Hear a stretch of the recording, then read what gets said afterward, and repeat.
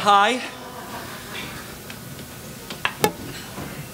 My name is Todd, and I am a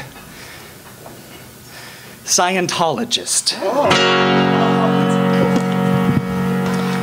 L. Ron Hubbard was the motherfucking man.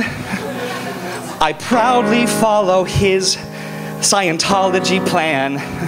I audit out the engrams so my thetan is clean. I'm not hurting no one, but you gotta be me. It's acceptable to mock my church and call us insane. If I say your religion's crazy, I'll be met with disdain. Why are we the bad guys? Why do we start such a buzz? We say homosexuals aren't real, but what religion does?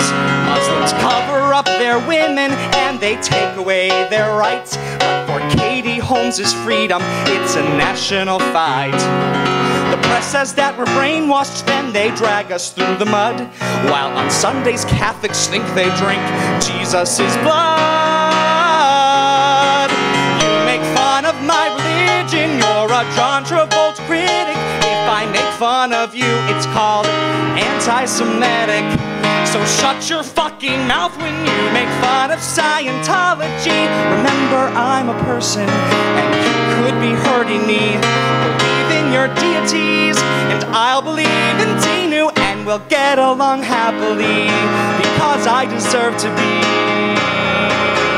just as batshit fucking crazy as you.